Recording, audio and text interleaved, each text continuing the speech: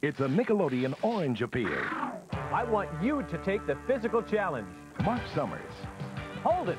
I'm not talking about that kind of physical challenge. I'm talking about the challenge to get physically fit. Get outside, ride a bike, do some running, or just take a walk. Just a half hour a day of exercise can help you get your body and brain working together so you can make it through any obstacle course you find in front of you. This Orange A Peel was brought to you by the President's Council on Physical Fitness and Sports and Nickelodeon.